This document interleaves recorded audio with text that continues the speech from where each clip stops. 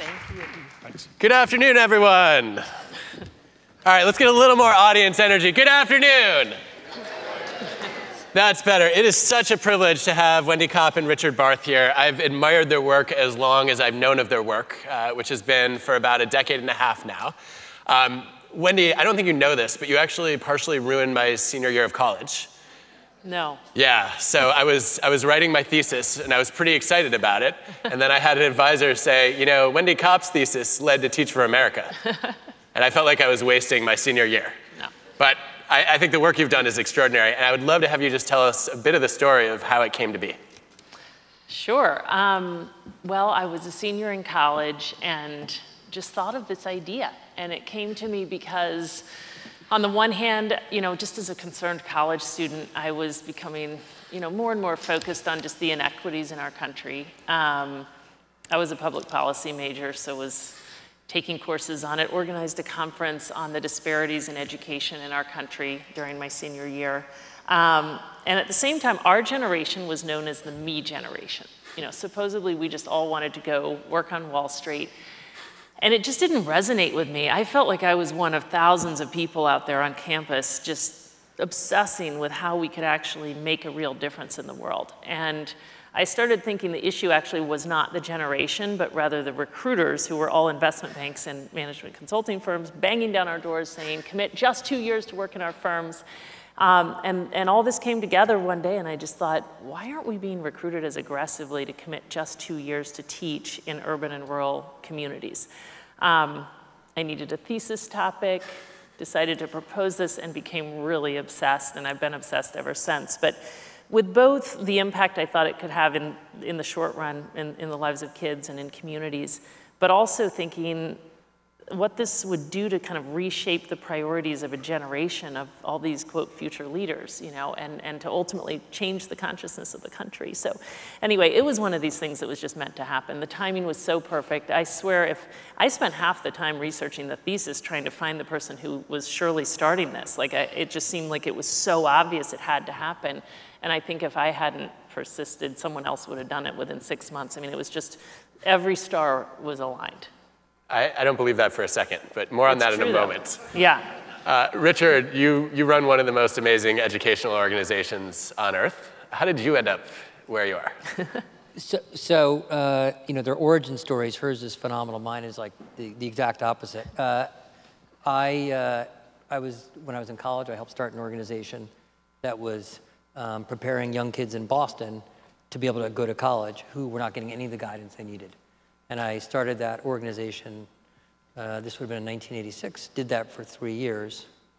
I graduated, I went traveling, I had no idea what I was going to do next. My mother cut out from the New York Times a little article uh, about some young recent graduate from Princeton who's starting something called Teach for America she said, you might be interested in this. So I came back uh, to the States and tried to get a job at Teach for America. Um, and I went in and interviewed. I was, this is now my wife, but at the time it was just Wendy. And I and I thought to myself, we don't need another white guy from Harvard, so no. so true story, I interviewed, and then um, I thought, oh, that was a great interview. I'm sure this will all work out. A week later, I call, and I just get you know, delayed, and there's all sorts of explanations. And um, someone I knew from college actually was there, and she went in and said, uh, Wendy, there's this guy, uh, Richard, on the phone again, and he's still looking for a job. And she said, this is great because we're desperate.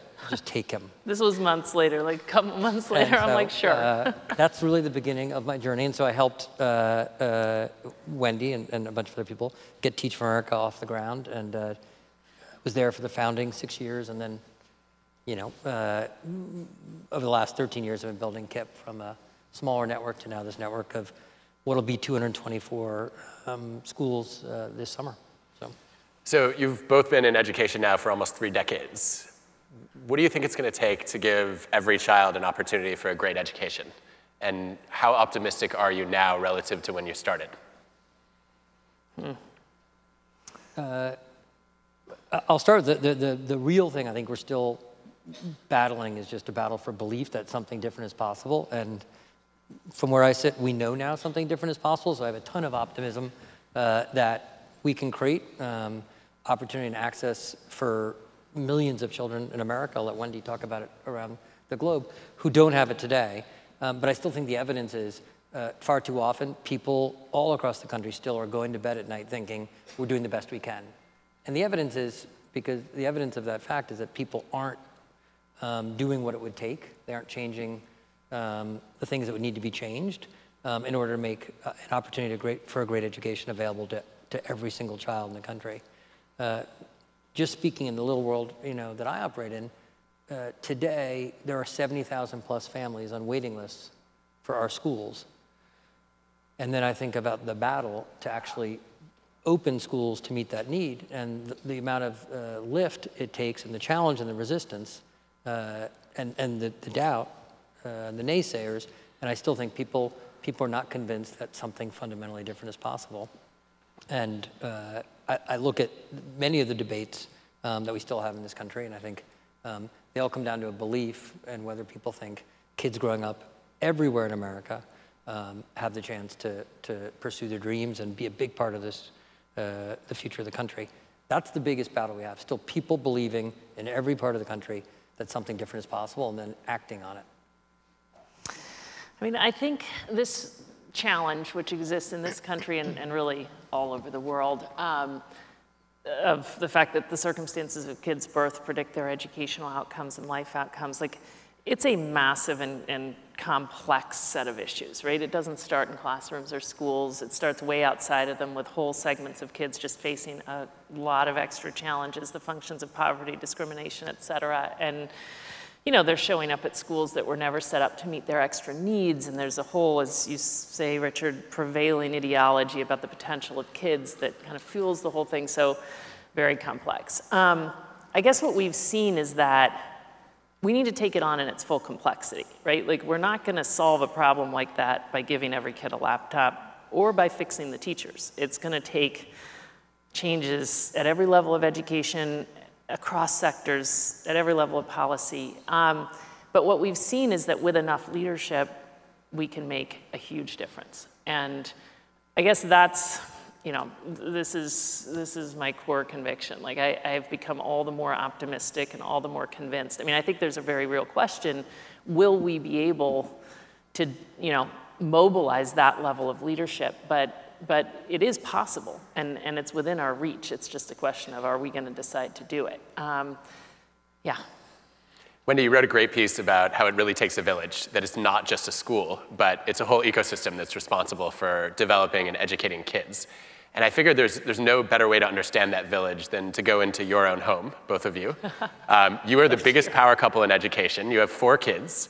Um, I want to know how you've parented them, because if any kids are going to be in a great position educationally, it's your four. So can you please enlighten us about how to be better parents?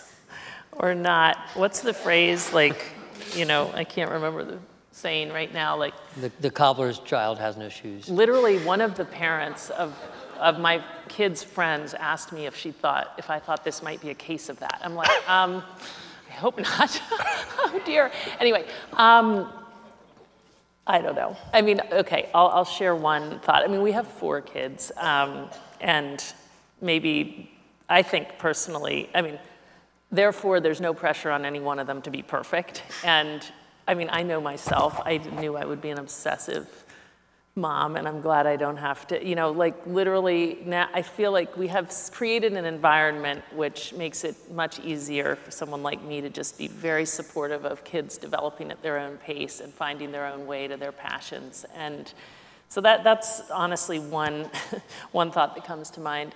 Another is, um, I mean, we, we were at dinner one night um, with our kids on vacation, and this is maybe not a good question to ask your kids, I'm not sure, but glass of wine in, we were like, so when you're parents, what is the one thing you'll do differently, and what's the one thing you'll do the same? Um, thank heaven this worked out and we survived the night. But um, you know, so we were started with the question of what will you do the same, and Interestingly, our three boys, and, and the little one was a little bit younger, like maybe eight or something, almost simultaneously said independence, like the three of them, independence.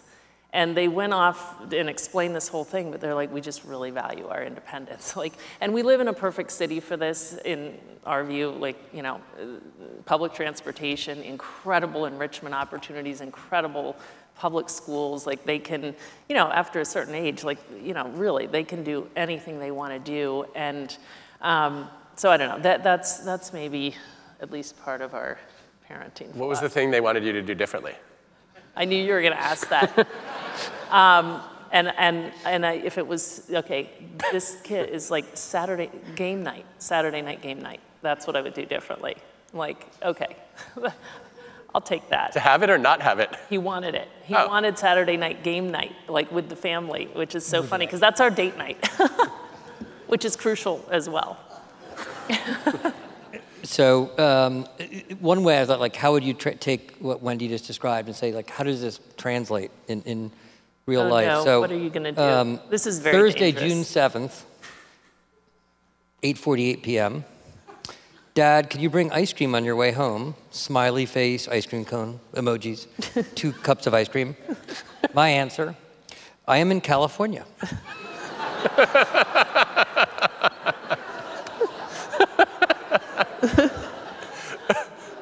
To which Georgina replies, okay. so that's our model. Um, uh, the, the, my, my, the chair of the board of KIPP, he, he says that after watching us for a few years, he said, you guys are, what you're doing is what I would call a boarding school in reverse. Like we call home, we're like, how is everything? Did you eat? How's school? Are your teachers, are you doing your homework? Um, But uh, they're good kids nonetheless, despite us somehow, knock on wood, so far. I, I do have to follow up on this. So I feel like parenting is one thing we never teach at Wharton. And so this is a good time to get some advice for They anyone never teach who's any of us. This no, is a big problem. It's a huge problem. And for anyone who has, you know, either fe- felt like they don't know how to raise their own children or they're wanting to give their parents some feedback about what they should have done differently, I, I just, I just wanted to ask for your advice on a few parenting dilemmas that I'm grappling with right no. now. Oh, this is going to be a disaster. So, roll it out, roll it out. so our kids are 10, 7, and 4. And our four-year-old asked me the other day, he said, Daddy, who made people? And I didn't really want to have a whole religion discussion with our four-year-old, and I didn't even know what I thought anyway. And so uh, my response was, well, what do you think? And he paused for a second, and he said, Bob the Builder? So my question is, what do I say to that? Do I affirm that? Do I challenge it? Like, what, what is the received wisdom from education experts? I'll let you do that one. It depends how tired you are. I don't even, I can't, I don't know. What would you do? I usually say go on the internet.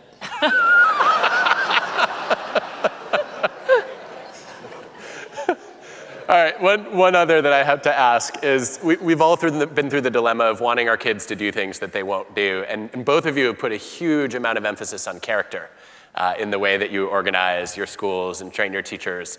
Um, if I want to do something as simple as like, get our daughters to clean their rooms, wh- wh- where do you start on that? How did you deal with that with your kids? Richard, know you, told, you told me, I think, a year or two ago that you were a loser parent. Quote. I mean, it, it, We well, are terrible. I mean, but you know what? That may not be the battle to fight. Someone once gave advice like that, right? Sounds credible. Like, I don't know, is cleaning your room the battle to fight? I, I don't know. We just chose not to fight it. So the, the alternative, so we've, our three boys have grown up in one bedroom. So what, what I found easier is just you close the door. and then in the morning you open it and say, okay, let's go. And close it. I see why your schools are so popular. Exactly. um, I, I, I will, on, on the serious thing, I do think uh, this isn't the battle, you know, I think uh, uh, we would choose to fight and I would choose to fight. I do think um, uh, the, the level of independence and autonomy uh, is, uh, and again, we're privileged living in New York, but I think our, our kids, um, like that's the big, my biggest takeaway is by the time they leave us, there will, I don't think, we'll say like the transition to sort of being on their own, um, I hope will be, well, we'll see how it plays out, but I think it'll be, they'll have really benefited growing up this way, and I think it's the one gift we've given them. So one of the things that I've been trying to figure out is we have a, a new initiative at Wharton, uh, which is a Wharton People Analytics Initiative, where Cade Massey and Angela Duckworth and I are trying to figure out how we can identify and then develop character strengths uh, in, in people ranging from students to executives and everything in between. So we want to teach grit. We'd like to teach you know, students to be givers rather than takers. Um, how do you think about doing this in your schools? And what, what, is, what have you learned about if I'm a teacher or a parent or an educator of any kind, how I instill these kinds of values and principles? So, I'll, I'll, uh, you know, and obviously there's a, there's a lot of partnership work actually with uh, uh, Angela and the folks at, at Penn and the Character Lab. So um, we're, we're learning this, some of this together. But um, I, I, think the key thing we're trying to figure out right now and we're excited about is um, we've always, I mean, since the beginning of KIPP, we're talking now 20 years, we've always believed that uh, our schools are about not just academics, but about building um, the mindsets and uh, life skills uh, that you'll take with you um, when you leave. We've talked from the very beginning with our kids about what that takes. And they've been exposed both to like projects that um, are designed to unleash things like grit, perseverance, um, potentially confidence speaking in public, working in teams. So there's all that that we're doing. I think what we haven't known and what we're still trying to, we're, we're working on and figuring out in partnership, uh, Adam, with, with you all, is what interventions actually that a teacher could do in a class pay off over time. Like what could you actually say to a teacher, this, if you're doing this, we have research that says uh, your students will actually end up demonstrating these, these uh, attributes over time.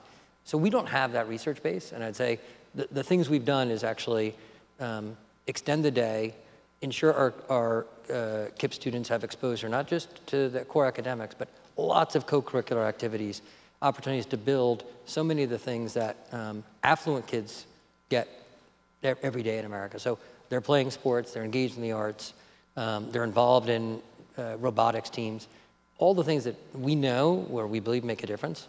What we don't have yet would be just the research base to say these interventions are actually leading to this.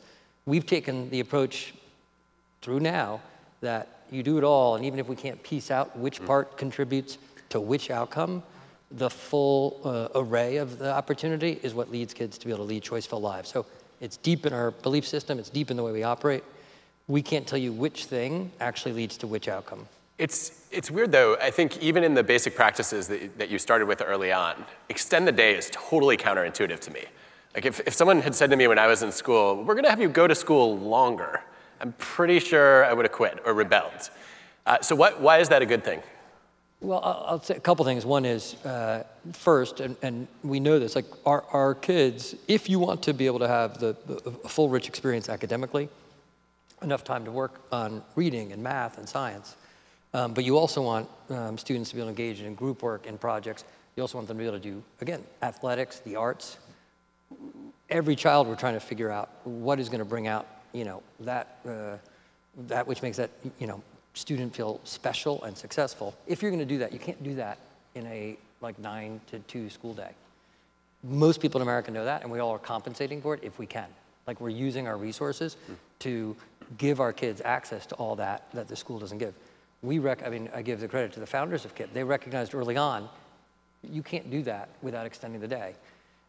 I think there's a second, um, you know, and again, you're the researcher, I'm not, so I'll, I'll, I'll caveat this, but I'd say when you speak with our alums, uh, and they talk about the longer day and the longer year, they will say, you know, um, one of the things that made me feel special was proving to myself that I could, I could do this, that I could put in the work, that I, um, could go the extra mile. And it becomes part of an, a positive identity that, um, like, I can, I can rise to the challenge. Recognizing, just what you said, Adam, no fifth grader in America, when they were introduced the idea of a longer day and longer year, there's not one fifth grader in America who thinks this is a great idea. Not one. We've never met them. Their parents may think it, their grandparents may think it, they don't. But when I, when I sit with 25 year olds, it's one of the distinguishing factors. And, and part of it, I think, is they've also felt what they were doing was different than the norm the feeling that they were actually um, doing something that a lot of kids didn't have uh, access to, and I think it made them feel special in terms of their ability to persist and have grit and thrive. Wendy, what about you? You've developed some extraordinary teachers over the years. Many of them are running parts of the world today. What are some of the most unusual and effective teaching practices that you've observed in the classroom?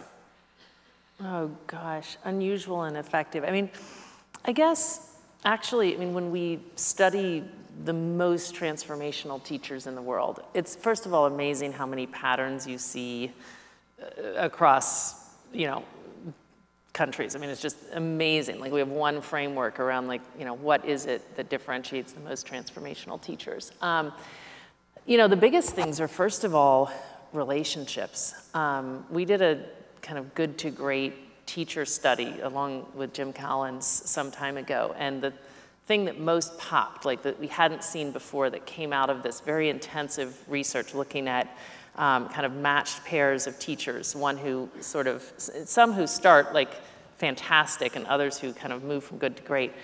The biggest differentiator was that they were so relational, like with not only the kids and, and the kids' families, but with other teachers in their schools, just super relational. So developing strong relationships is, is just the foundation. Like I, I think about that, because think about the pressure our new teachers are under and how much pressure their schools, Teach for America, the next thing, put on them.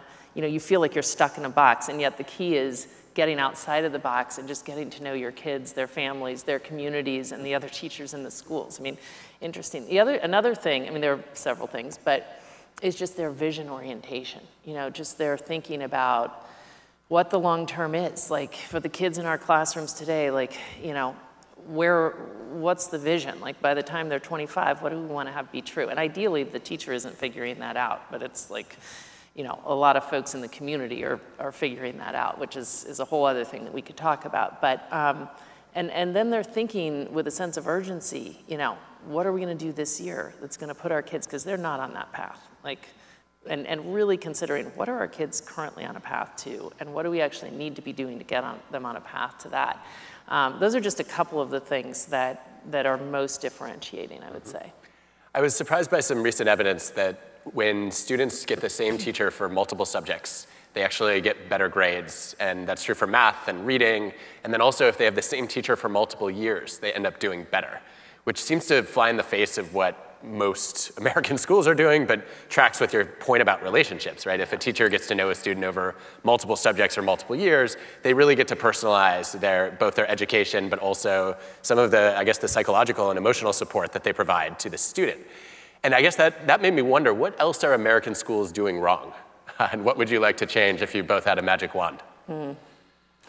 Um, well, I'll share a recent story around this. Um, so I was, we were, you know, Teach for All is a network of organizations like Teach for America in 48 countries, right? So, and, and the global organization tries to help all these folks, you know, the staff members and teachers and alumni and whatnot, learn from each other and learn from other experts in the world. So we were doing a kind of Teach for All talk, had, you know, many, many people online on these Zoom calls, and we're talking with this gentleman who's in charge of reimagining education in Japan.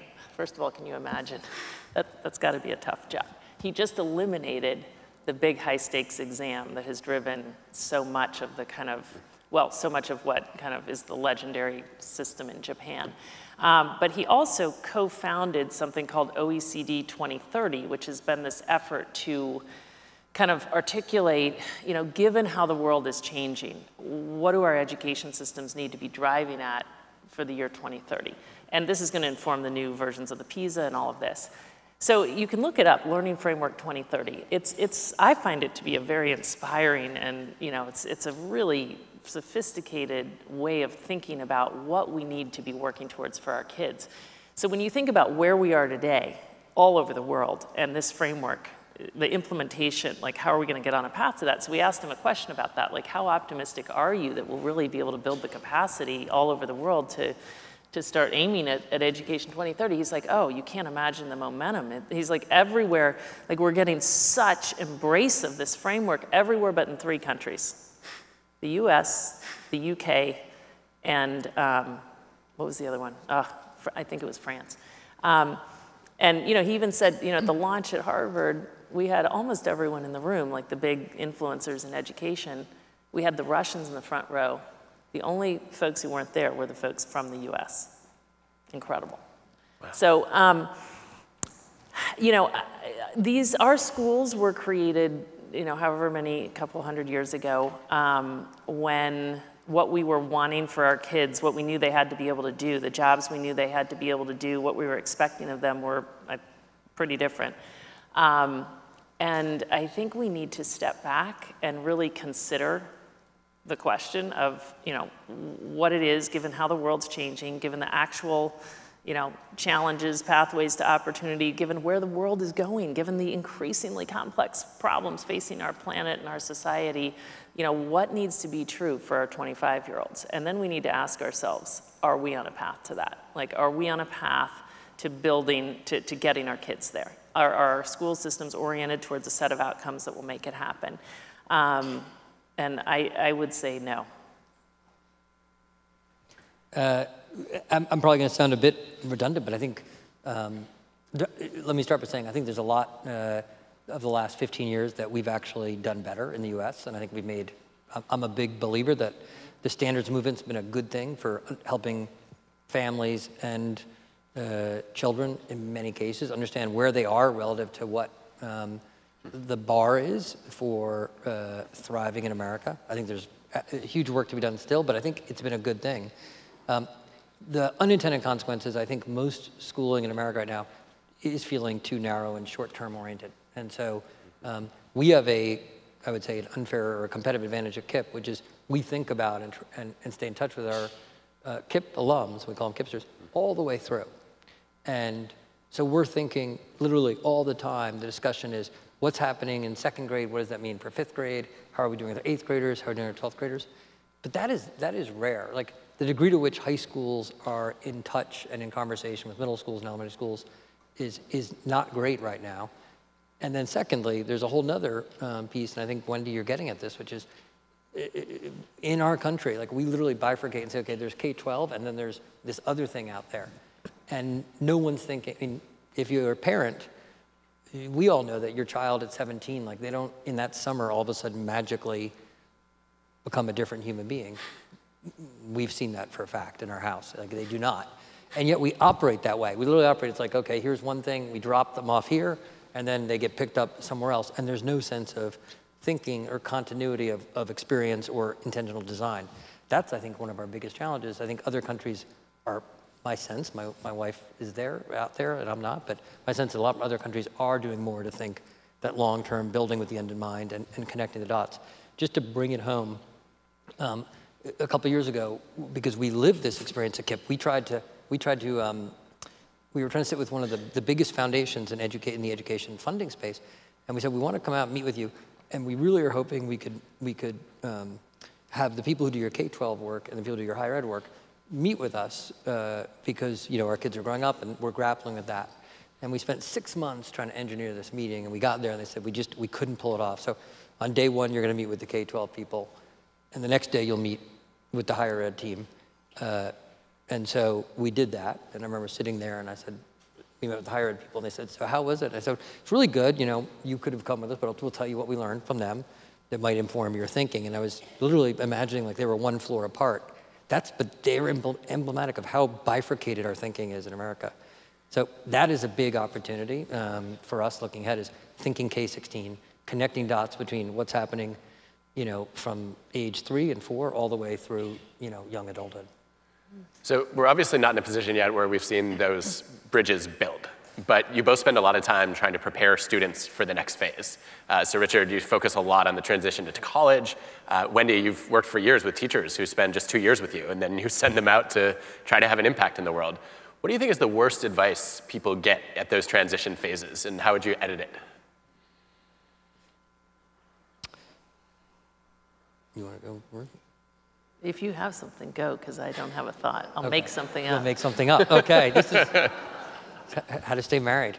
Um, so, um, well, I'll just, I'll be very open about like a journey we're on at KIPP. And it's just, again, I think one of our benefits is because we're, we've been at this for so long and we stay in touch with our kids, we're, we're learning. Um, we've become as good as it gets in terms of helping uh, young adults in America, in, in, our schools, 16, 17 year olds, think about how to um, apply to college, think about how to go to the right college at the right match at the right price. that has the strongest outcomes. Literally, if you're a 16-year-old at KIPP and you want to go to college, um, you probably couldn't be in a better place. And we're four or five times better at providing the guidance to a 11th and 12th grader today than we were five years ago. Uh, in fact, you, for, for everyone who's attended Penn, it's our number one highly selective college partner. We now have this year, I think, 54 KIPPsters at Penn.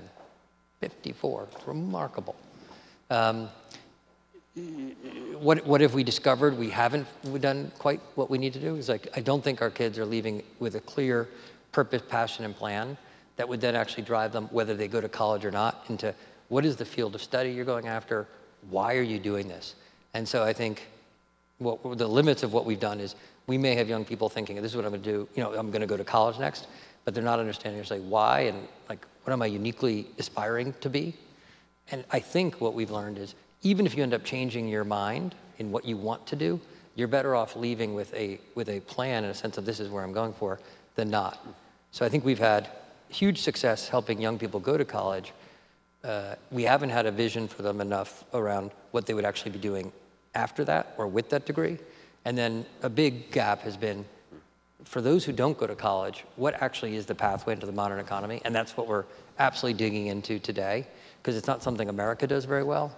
And if you want to go to college, we can do a phenomenal job providing that guidance. If you don't, you can literally imagine a counselor with a screen, Adam, and I'm sitting with you. I can help you develop a wish list for colleges. I can help you think about the odds of admission. I can help you think about financial aid. If you don't want to go to college, I have no screen. There's literally the military and nothing else. And so that's where I think, you know, we, we don't quite have it right. And we've had young people who would say, I want to go in the military. We'd say, well, that's not a good idea, only because it's not valued in the system. Uh, and that's a miss. So I think that's a big journey we have to figure out. We're not the only ones. A lot of people are figure out, but that's, we do not provide the best advice in terms of people thinking longer term beyond whether you, you know, you go to college or not. So are you up for a lightning round? Yes. Is that a yes? Or, or Wendy, are you saying Richard's going to do the lightning round? Yeah, he's good All at right. this. So uh, for, for either of you who wants to jump in on any of these, uh, first one is, are teachers in America underpaid, yes or no? Yes. Yes. Okay, that one was easy. Uh, secondly, what's the, the one biggest mistake that you see parents make as they raise their children, as they come into your schools? Some of these are less lightning Yeah, than uh, others. Un- undervaluing their voice and their role, like not, not, not being confident in terms of telling us what they want, what they need. Okay. Uh, what's the one country we should be learning the most from on how to do education right? Hmm. Um. That's a, such a tough question because I, I think, I'm not sure I would, I can't answer that in that way because I, what I think is that there's so much to be learned. I mean, it's amazing in education. uh, We just don't assume that we can learn from each other across borders. In health, you think, of course, the solutions are shareable, our fates are interconnected. Same with the environment. In education, we really don't think that way, and yet it is totally true. The solutions are far more shareable than we've assumed, and our fates are completely interconnected, which is terrifying when you get your head around the educational outcomes in some parts of the world. Um, but I think, uh, you know, the thing is that many countries, there's no country I know of that's satisfied with where it is. And, but what there is to be learned from is kind of the, sh- the incredible, like, incredible examples of tremendous educational opportunity that exist in many different countries in the world. And, and again, to stay on the theme of, well, empowering students and whatnot, like I, I think one of the most interesting things I'm seeing right now is, is these experiments different folks are running that put kids much more in charge of their own learning, their own, like reforming the system even. I mean, I, I just, you know, spent some time with some folks who designed a school. I mean, the school was designed by kids, and these kids were ages six to nine. They Where was this? co-create lesson plans. This was in Latvia, and it was in the hands of a, a kind of Teach for Latvia teacher who was one of the 50 Global Teacher Prize winners. But I mean, she literally, they co-create lesson plans with the kids. The kids pick the standard and the topic, and then a teacher and a kid work together to do it. When they need resources for anything, the kids write emails. I mean, we're sitting there in a session listening to this kid describe this, And this gentleman who was starting Teach for Uganda was sitting there shaking his head saying, Our seniors, the people who are graduating, which is very few, don't know how to write an email. So it's just, it's, we underestimate our kids, and, and that's, that's one of our biggest thoughts, even as parents. Like, you just constantly realize it, like, oh my gosh, like, you know, what kids are capable of, and, and we're really underestimating them really all over the world in, in schools. But so, those are some of the things I'm looking most at right now across the world. So you made a funny comment backstage, which is that you don't normally appear on stage together, but that this was an excuse to find out what your partner was doing and catch up a little bit. Uh, I want to give you a chance to deliver on that. Uh, you can each ask each other one question. Oh my goodness. Are you having fun? In life or right now? Right now. um, I'm glad it's Friday afternoon and I'm home in New York instead of on an airplane. So yeah, I'm having enough fun. Um, I'm done. um, what do I want to ask you, Richard? What, what, what, what are you most thinking about, like right now? What, what would you most like to share with this group? See, that's the question you should have asked me. Let me take, rewind the clock. When, what, are you, what, are you, what are you most thinking about? He's such a good no, learner. Seriously, so one impressive. of the things I was sitting up here thinking about is that, because this is pretty much, yeah. Um, was happy wife, happy life. This conversation can be, it can feel so removed from, as you know, some realities out there in the world. And one thing I've been thinking a lot about, um, we have three incredible network partners, Teach for Nigeria, Teach for Uganda, and Teach for Ghana. This is the least populated Teach for All region of the world. Like we're just getting started in Africa. But I've been thinking with them about the magnitude of the challenge ahead on this continent. And I kind of just want to put this out there because I think for our collective welfare, we need to be thinking about this stuff. Um, like 1.2 billion people live today on the continent of Africa, and that is going to be 2.4 billion, twice as many, 2.4 billion by 30 years from now. Wow. And the context for this is that the educational infrastructure in Africa is so weak right now. And you know, there was just a World Bank report. There are no, no good data, but this World Bank report looked deeply at learning outcomes in seven countries and found that in five of the seven, fewer than 10% of fourth graders can read a paragraph. So, you know, you just think about, you know, for so many kids and families, for the countries and for our world, we had better, they had better. I mean, it, it's gonna have to, I mean, Ugandans are gonna solve Uganda's problems. But how is this going to work? Um, you know, I, know, I believe one of the key elements is we need as many people as are channeling their energy. I mean, there are lots of well-educated Africans. They're incredible, they're dynamic, and they're channeling their energy into, you know, banks and oil and gas companies and cell technology companies and, and all. Um, and we need a good fair share of them to channel their energy against this fundamental issue. Um, and it's hard to figure out how that happens um, given the lack of financial resources and the way the foreign aid money flows at this point. So anyway, there's just a lot of pressing issues. Um, you know, we can think about our own education, and I think we need to really wake up and realize that we need to do much better and do much differently in the US, but we also should be thinking about education in, in these other countries. Mm -hmm. Richard, are you going to answer it? Answer my question. Okay. Um, so, short answer, slightly long answer. Short answer because, uh, Adam, you asked this question are teachers paid enough? They're not. And for anyone who's involved in healthcare out there, I just add, I hope you're working these solutions because um, one of the major challenges we have is just the cost of healthcare. In Philadelphia, where many of you went to school, uh, this year we're opening a new school in North Philadelphia. Our average teacher makes $60,000 the cost to the school in the school budget this year will be just under $100,000. We opened a new school in Philadelphia in 2010, not that long ago. The cost to the school budget was in the low 80s, around 82, 83. So the teacher's not making any more money. The school is not getting another person. In fact, we'll probably have to hire one or two fewer people to work in the school because of that. So I just I name that because teachers aren't paid enough, but we've got to figure out how to solve these escalating costs that are just chewing up, you know, all, all these spends out there. Um, if you said what's, what's uh, you know, what am I thinking about a lot? You know, this year I visited uh, 20 of our high schools across the country, um, meet all these amazing juniors and seniors. That was my focus. Um, so much, uh, so much talent. And um, one thing I'm struck by is I, you know, I, I think deep down still, too many people who have a lot of influence and power think we're operating in a meritocracy. And you know, there are elements in which things are meritocratic, but in general, um, the, the, the reality is, you know, and if you look at like this work out of this guy, Raj Chetty out at Stanford right now, yep. you are, uh, looking at this last year, you are 77 times more likely to go to an Ivy or an Ivy plus school, the most selective schools in America, if you're from the top 1% than if you grew up in the bottom 20%. You're 77 more times.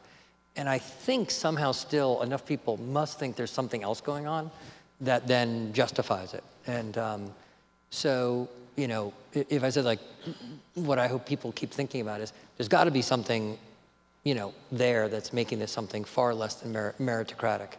And um, even if you just said, and I was talking actually to Wendy about this, I heard this, this professor speaking about this, even if you said, even at Wharton or Stanford, pick any of them, uh, we're going to do this experiment where the next class of kids we take is going to take the top, you know, five or 10% of the kids from each quintile economically in the country. So you got to be in the top 5% or 3%, whatever number, crazy number you want for your selectivity goal. But you distribute it um, across uh, the income divide. Maybe that would be an interesting test for us to start thinking about this way. But that's, you know, I just look at what's, what's going on out there, and, and, it can't be good, just as Wendy says, it can't be good for the world to have what's going on out there globally in education. It, it, can't, it can't be viable for a country to have this level, if the odds are 77 times greater, for people to believe there's some real deal in this anymore. I think at some point people are gonna say there just is no, there is no deal. So that's the thing I'm thinking a lot about is like, how do we just make sure people aren't thinking there's, there's, there's some form of meritocracy in places where we're far from it. Fast closing question. We have a lot of influence in this room. What can the people here do to improve the future of education?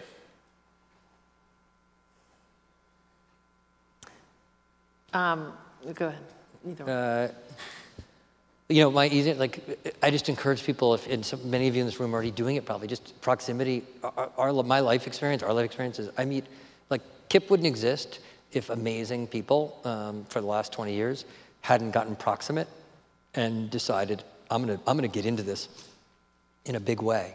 Um, and uh, that proximity, whatever your thing is, you know, for us it's education. When you start meeting young people, you start meeting teachers, or you start meeting schools, or you start seeing what's going on, for a whole bunch of people, it becomes, you know, it's hard not to become obsessed. Um, and so, however, if you're ever like, hey, what do I do with my time this year? When I think about where my time goes, if you have chances to go out, touch people, get connected, listen, watch. Um, I think it's the number one thing you can do. I think when you're proximate, the odds that you're going to bring a conviction and a passion and all your talent to it goes up dramatically. I second that. And um, I'd also just say, think about, like, as you explore and learn, and some of you are probably already deep in on this whole journey, but um, you know, find your way to those kind of social entrepreneurs out there and get behind them. You know, I, I think about what really changes things, what puts things on a different trajectory, and I, I doubt anyone would question in the for-profit sector, it's entrepreneurs, you know. Um, and I think there's a lot of evidence that social entrepreneurs are the folks with the real potential to actually put us on a different trajectory. And they're terribly underfinanced. Like you think about how much time a for-profit entrepreneur spends raising money and how much time the social entrepreneurs do. I mean, it's like 50, 75% or more of their time is just like trying to find funding. And I just think we have a lot of folks out there and a lot of philanthropists and a lot of people figuring out their own things. And I, I you know, I would just look, try to get out there and figure out who's doing the great work, who's, who's just way underfinanced. Because I, I think that has, if we had a lot more people thinking that way, I think we would make a lot more progress. Well, I want to thank you both, both for joining us today and also for the extraordinary work you've done in education. Richard, Wendy, thank you. Thank you.